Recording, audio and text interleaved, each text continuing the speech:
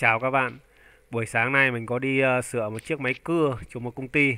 Máy cưa này của Nhật. Và lần đầu tiên mình đi sửa máy móc công nghiệp Mình mang theo một cái thứ này. Các bạn ạ. Đó chính là một cái bóng hồng ngoại.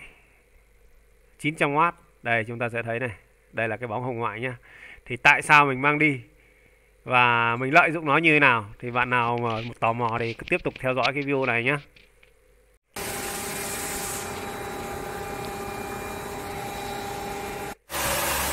Mình đính chính nha, đây là một cái máy cưa sắt à, để cho các công ty cơ khí gia công kim loại ấy.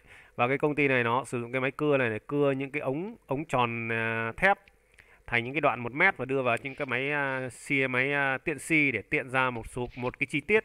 Cái chi tiết này hình tròn tròn bé bé để nó sẽ được à, à, cho một cái công ty ở dưới uh, Hải Phòng. Cái công ty này nó là công ty đúc nhôm thì cái chi tiết sắt đấy nó sẽ được đặt trong cái khuôn đúc nhôm và khi ờ, đúc nhôm ấy thì là cái chi tiết đấy nó nằm trong một cái vị trí. Và cái vị trí này là sau khi ờ, đúc xong ấy là sẽ gia công lại để nó độ chính xác cao ấy. Nó sẽ cấp cho xe, cho hãng Piaggio, tức là sản xuất nhôm ờ, vỏ nhôm cho hãng Piaggio. Và cái chi tiết sắt này nó sẽ lắp những con cảm biến để đo được công tơ mét nhé các bạn nhé ở trong xe của hãng Piaggio và cái máy cưa này thì à, dùng rất nhiều, rất nhiều luôn. Họ nhập mấy chục tấn thép từ bên Trung Quốc về họ để chật cả công ty cứ cưa liên tục các bạn ạ. Thì à, nó bị một cái lỗi đó là bị cháy một cái cầu chì. Đây này. Đây nha, chúng ta sẽ thấy nó có hai cái cầu chì này thì cái cầu chì mình đang lắp một một cái bóng uh, sợi đốt hồng ngoại này này. Cái cầu chì này nó bị cháy thế là cứ người ta cứ thay cầu chì bật cái là nổ, cứ bật cái là nổ các bạn ạ thế là mình đoán là đang bị chập tải. Nên mình uh, thực ra cái máy này là họ đã điện cho mình từ hôm thứ hai hôm thứ ba tuần vừa rồi hôm nay là thứ bảy. Nhưng do mình bận mình không đi được các bạn ạ.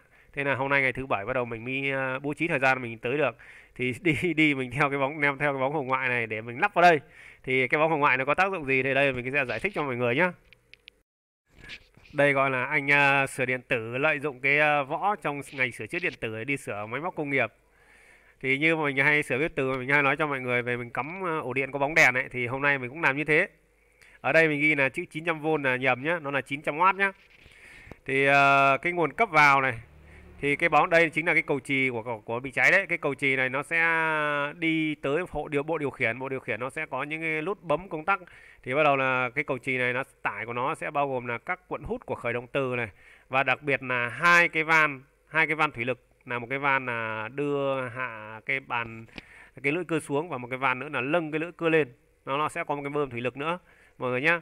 Thì tất cả cái công suất tải nó thì mình đoán nó chỉ rơi vào vài chục watt thì như mình cho tận trăm watt đi mọi người nhá. Và đặc biệt là trong một số cái tải đấy đang đang bị chập.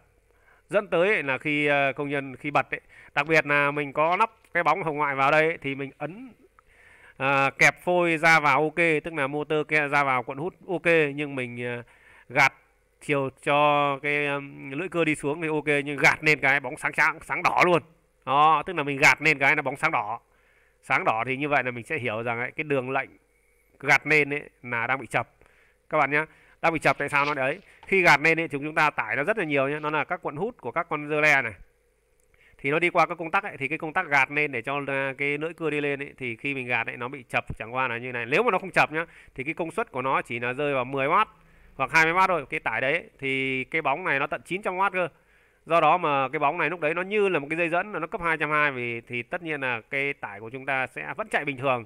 Tất nhiên là nó hạn qua như này ví dụ tải nó 100 hoặc 200W ấy, thì có thể nó sẽ rơi áp trên ngày. Và tải của nó chúng ta không cấp trực tiếp đủ được 220 nhưng mà nó vẫn ok không vẫn không sáng ngày nhá. Nhưng hiện tại là mình gạt lên cái thế là nó chập. Nó sáng này bóng này luôn các bạn ạ. Thế là mình tìm được nguyên nhân đó chính là cái tải của cái gạt lên gạt nữ cưa cho chạy lên đấy nhá. Thì đây chính là một cái võ lợi dụng. Chứ nếu mà chúng ta lắp cầu chì và chúng ta gạt cái nó lổ, chúng ta chả biết được. Các bạn ạ, đây là một cái võ mình bảo là thợ sửa điện tử. Ờ, đi sửa máy công nghiệp là như vậy đấy. Tóm lại như trong những cái sửa chữa nguồn sung hay là bếp từ ấy, thì mình cũng bảo cắm qua ổ điện qua bóng đèn ấy, mình chỉ dùng cái bóng đèn là một hai một trăm w hoặc hai trăm w vân vân ấy. Thì khi mà chúng ta sửa nguồn sung nguồn sung khi chạy không tải, nó chỉ có rơi vào hai hoặc 3 w thôi các bạn nhé thì chúng ta cái dùng cái bóng 60W chẳng hạn. Thì cái bóng 60W lúc đấy nó như là một dây dẫn còn đâu tải của chúng ta đã đủ à? cấp 220 và nó đang tiêu thụ chỉ có 2 hoặc 3W thôi. Nhưng khi cái tải của chúng ta bị chập cái nguồn xung của chúng ta sửa chưa được mà chập ấy, thì dẫn tới là nó không phải là hai hoặc 3 watt nữa mà nó tận lên hàng nghìn watt chẳng hạn. Thì như là một dây dẫn thì như vậy là 2.2 nó sẽ dồn lên cái bóng này cái bóng này sáng thì do đó mà nó sẽ không không chập nhá. Các bạn nhé không xảy ra chập cháy. Các bạn ạ thì tất nhiên là với những cái bộ nguồn sung mà nó có mạch bốt PFC thì cái dòng mồi khởi động ban đầu ấy, thì mình hay sử dụng là bóng 200W thì nó mới mồi được ban đầu. Còn 60W là không thể mồi được. Còn như sửa máy hạt thì mình toàn chơi cái bóng hồng ngoại. À, sửa phần à, công suất các thứ ấy sau đó xem nguồn ra ok không.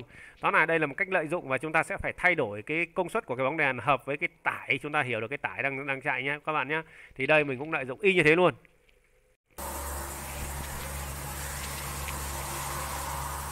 Đấy, cắm đúng cái bóng hồng ngoại thay cho cầu trì. Một dàn khởi động từ đấy các bạn ạ. À.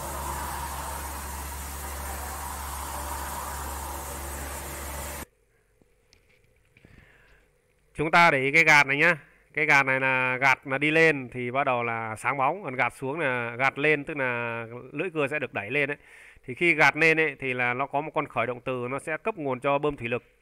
Bơm thủy lực sẽ chạy thì bắt đầu là sau đó là cái van thủy lực cũng phải mở để nó đưa vào trong xi lanh để nâng được nó lên. Còn khi mà đi xuống ấy, thì là cái ờ, khởi động từ cho van thủy lực à, cho khởi động từ cho cái bơm thủy lực sẽ không cần chạy. Bởi vì chúng ta tưởng tượng ấy, khi gạt xuống ấy, thì có một cái ờ, van ờ, thủy lực khác nó sẽ mở ra. Nó mở ra thì là cây dầu thủy lực nó nằm trong cái cái ống xi lanh thủy lực ấy, nó sẽ cứ nhả dần nhả dần nhả dần ra thì nó sẽ xuống. Các bạn nhé tóm lại là đi xuống thì là theo cái trọng lực từ trên trời nó rơi xuống là cả cái khối nó rất nặng nó tự xuống được. Còn lên thì bắt buộc là phải máy bơm thủy lực phải bơ phải uh, chạy bơm thủy lực phải chạy thì có mới lực nó mới lên được các bạn ạ. Thực ra là cái con này ở vị trí cái nút đỏ mình đang chỉ này nó là một công tắc bốn chiều gạt lên là lên lên còn gạt xuống là xuống. Gạt trái là sẽ mở phôi ra mở kẹp phôi còn gạt vào là mở mở kẹp phôi vào. Nhưng do quá dùng quá nhiều nó bị hỏng và đi thay thì toàn đồ tàu ấy, cứ ba bữa là hỏng vì cái công ty này làm nhiều do đó mình đã chế nút này là nút nút ấn nhả đấy ấn là đưa vào là là khóa phôi còn nút này là nút ấn nhả phôi ra. Còn cái công tắc này là công tắc zin bản của của máy nhá là nó sẽ sử dụng là lâng cái một cái, cái cơ cấu thủy lực ở chỗ này lâng ở chỗ này này lâng lên để cho nó cái dây chạy vào nhưng mà người ta không sử dụng nữa nên mình đã lợi dụng nó để đưa là lên lên. Tóm lại là cái công tắc bốn chiều đây nó đã là thành một chiều một ở đây một ở đây và ở đây là lên xuống.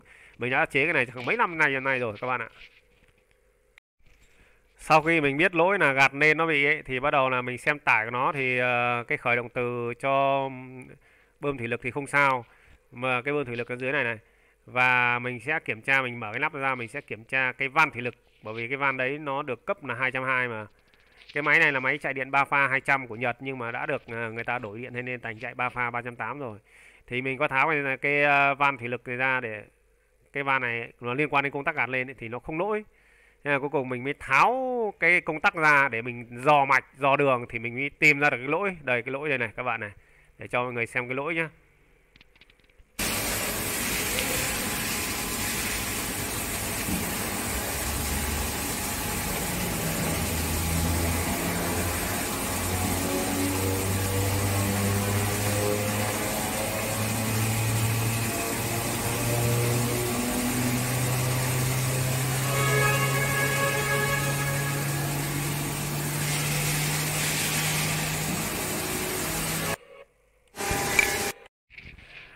Cái đầu cốt này nó bị tuột ra và nó chạm vào vỏ mà vỏ nó chính là được tiếp địa. Do đó mà dẫn tới là khi mà gạt cái công tắc lên phía trên ấy thì một pha một dây 220 đi qua cái cục chì ấy, nó sẽ đi ra cái dây này này. Các bạn ạ và nó đã bị chập vào vỏ dẫn tới, tới là nổ cầu chì liên tục. Thì sau đó là mình mới tìm vị trí thì mình đấu lại thì nó ok. Nhưng mà lại có một cái lỗi là hai cữ hành trình của nó cứ lên cứ xuống mất tác dụng thế là sau đó cái anh quản lý anh đến thì mình mới hỏi. Thì hóa ra là con này đầu tiên bị cái lỗi ấy. đó là gạt xuống không được hay gạt lên không được ấy. Thế là mới hôm thứ ba gọi mình ấy, thứ ba ấy. thế là sau đó là mình bận mình không đến được ấy, thì có gọi gọi một cái thợ phủ lỗ. Họ xuống họ đã xử lý. Và chạy được đến ngày uh, mấy hôm ấy thì bắt đầu là bị lộ câu trí liên tục. Thế là mới đầu bố trí thứ bảy mình mới xuống. Thì sau đó mình mới uh, phát hiện ra là thợ họ đã và đã chắc là cái dây này nó ở đâu đó thì nó bị thợ đã tháo đã đã xử lý trên cái công tắc đấy. Và họ đã đấu tắt. Họ bảo là bị mất điện tới cái công tắc đấy. Nên là họ đã đấu tắt kiểu gì dẫn tới là bây giờ là hai cái cữ hành trình của à, lưỡi cưa xuống hết cỡ và lên trên cùng là mất tác dụng. Nên là lên à, sau khi mình xử lý xong cái này thì à, lên xuống ok. Nhưng mà lên đến cực trên ấy, thì chúng ta cứ gạt nó lên ấy, thì khởi động từ nó không nhả. Khởi động từ cho bơm thủy lực. Không nhả cứ ghi mãi là khi cháy bơm. Hoặc là nếu mà phần phần uh, phần ấy của nó bánh răng của nó không tốt ấy có thể nó vỡ bánh răng các bạn ạ. Và đi xuống hết cỡ cũng vậy. Thế là cuối cùng mình phải ngồi mình tìm mình dò mình khắc khắc phục zin bản cho. Tức là cứ trên cứ xuống dưới là ok các bạn ạ. Như vậy là nguyên nhân của cầu trì ấy là do cái người thợ trước thợ ở dưới phủ lỗ sóc sơn hà nội họ lên họ xử lý nhưng mà họ đã đấu lắp đấu không chặt, chắc là đấu vẫn chặt đấy, nhưng mà trong quá trình mình lựa cái này vào rất khó nhá. Dây nó căng, nó bị ờ, cảm như là nó bị gần hở ấy. Nhưng mà trong quá trình công nhân dùng thì cứ gạt lên, gạt xuống, nó có độ rung. Thế là nó tuột cái dây đấy ra và cái dây đấy liên quan đến cái gạt lên ấy. Và nó chạm vào vỏ nên nổ cầu chỉ liên tục đấy các bạn ạ. Thế là cuối cùng cái anh ờ, quản lý ở đây, anh ấy quay lại cái đoạn bên trong lúc mình quay đấy, anh ấy gửi cho cái thợ đấy, các bạn ạ. Và sau đó là mình mới phát hiện ra, bởi vì cái anh thợ, cái anh quản lý anh bảo này, cái thợ ờ, họ bảo ấy là mất nguồn cấp cho cái này. Thế nào cuối cùng họ câu ở đâu vào mình không rõ nó mất ở đâu. Thế là câu vào đây cuối cùng là câu nên là mất chế độ của cứ lên cứ xuống. Sau đó là mình dò thì tất nhiên ấy, mình những cái bo mạch điện tử linh kiện điện tử đường đi như nào mình còn dò được. Còn những cái bo mạch máy công nghiệp này nó chỉ là các công tắc on ập này rồi là các cữ hành trình rồi là các tiếp điểm NO, LC thường nóng thường hở trong các khởi động từ thôi là chúng ta sẽ tạo tự động được. Và đặc biệt ấy là sau khi mình phục hồi xong nó vẫn còn một cái lỗi nữa đó là không chạy tự động được. Thì tí nữa mình sẽ nói cho mọi người chạy không chạy tự động được nhưng mà mình cũng bỏ bởi vì cái anh quản lý ở đây anh bảo là cái đấy bọn em không dùng bao giờ. Thì đây nhá sau khi mình phục hồi chúng ta sẽ xem nó chạy này. Mình đã phục hồi xong ấy mình đang gạt xuống đấy, và chúng ta thấy lưỡi cưa đang xuống này. Bắt đầu mình gạt lên này. Gạt lên này, lưỡi cưa nó sẽ lâng lên nhé. Đó, nó lâng lên, chúng ta sẽ thấy cái van thủy lực, cái thủy lực, cái ờ, rãnh thủy lực này, nó sẽ, motor nó phải ờ, thủy lực phải bơm để tạo áp suất, và cái van thủy lực phải mở, phải đưa dầu thủy lực vào trong cái lòng xi lanh này để nó lâng được cả một cái khối rất nặng lên. Còn khi xuống thì nó có đích cần ờ, lâng nữa, motor nó chẳng cần chạy nữa. Mà khi xuống thì là cái cái dầu bên trong à, của cái xi lanh này nó được trích nhả từ từ. Và kể cả khi cưa đấy nó có một cái à, khóa vặn này, vặn nhả nhiều, nhả ít. Thì nhả nhiều thì nó sẽ chạy nhanh xuống, nhả ít thì nó chạy ít xuống để ăn vào sắt nhiều hay ít đấy các bạn ạ. Nó thiết kế như thế.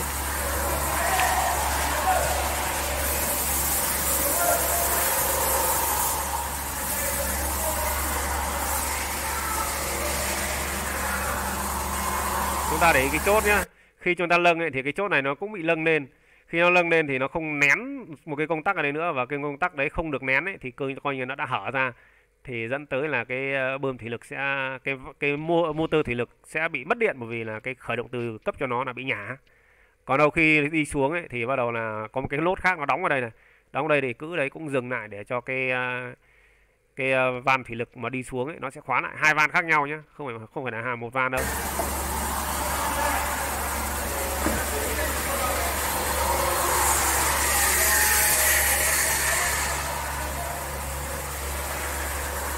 đang cho xuống đấy cho xuống thì uh, motor thủy lực không được cấp điện. Chỉ là có một cái van à, xuống là đang nhả thôi.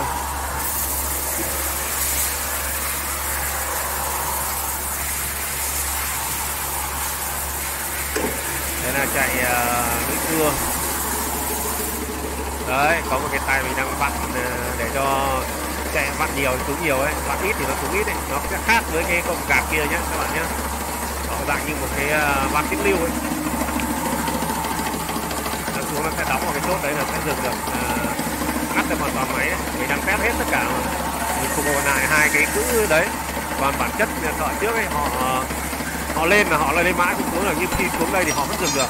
Xuống được họ vẫn dừng được. Lỗ vừa lại các bạn ạ. Nó tác nó tác động này này. Chúng ta để ý này tác động này đấy bắt đầu nó, nó kích vào này. Đó đây là máy hoàn toàn dừng nhá. Thì cái tự động nó là cái gì mà mình bảo nó mất chế độ tự động ấy. Thì đây này. Nó có công tắc này là công tắc khi gạt on ấy, thì là khi xuống hết cỡ và cái cữ công tắc này nó đóng ấy, thì bắt đầu nó tự động nó lâng lưỡi cưa lên hết cỡ. Tự động nhưng không khác gì mình đang gạt lên cả.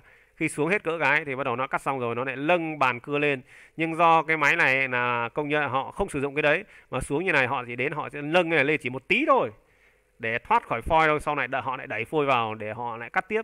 Chứ nếu mà lâng lên hết cỡ thì lại xuống rất là lâu nha mọi người nhá. Nên nó bảo là cái phần tự động đấy họ không sử dụng nên là mình đã bỏ cái đấy mình không phục hồi cái đấy các bạn ạ. Bởi vì phục hồi nó dò điện dò lâu lắm nó không có sơ đồ các bạn nhé này sau này gạt lên này? Đó nó lên nhá. Và chúng ta sẽ thấy nó lên đến trên là dừng như này mà không phục hồi này mà có có cái tự động kia thì cháy uh, bơm thủy lực ngay các bạn ạ. Phải lên đến cỡ mà bơm thủy lực không được nhả mà đây là cái uh, khởi động từ cấp cho uh, motor chạy ờ, răng uh, lưỡi cưa còn cái này là cấp cho uh, cho ấy cho cái máy bơm nhưng hiện tại cái cái này đã hỏng nên nó đã đấu thợ nó đã đấu ngày xưa. Cái máy này máy lâu rồi mà nó đã đấu trực tiếp vào đây rồi.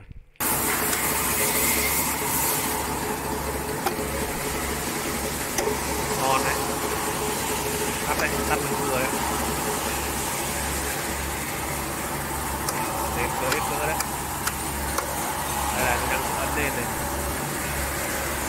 Nó dừng đấy nó tự dừng đấy nhá các bạn nhé nó tự dừng nhả ra đấy. Do mình đã phục hồi được cái công thức hành trình của nó. Đó đó chính là một cái uh, bóng hồng ngoại để mình đã tìm ban chứ thực sự ấy cứ lắp cầu chì vào gạt nó lổ cái thì chả biết đằng nào mà đôi khi lổ giật mình. Nên ờ, cứ gạt cái mà nó hồng nên là đang chập. Cũng do nguyên nhân là do người thợ trước họ đã xử lý cái công tắc kia họ đã bị đấu lỏng tới đấy trong quay trường chạy nó bị tuột ra và nó chạm vào vỏ. Do đó mà 220 đi về đất về về dây trung tính ấy. giờ đi về tiếp địa dẫn tới là hồng hết cái bóng hồng à, lỗ luôn liên tục lỗ cổ trì đấy các bạn ạ. Như vậy là cái võ lợi dụng bóng hồng ngoài để đi sửa máy móc công nghiệp của mình đấy. Thôi video này kết thúc ở đây nhá. Chào mọi người.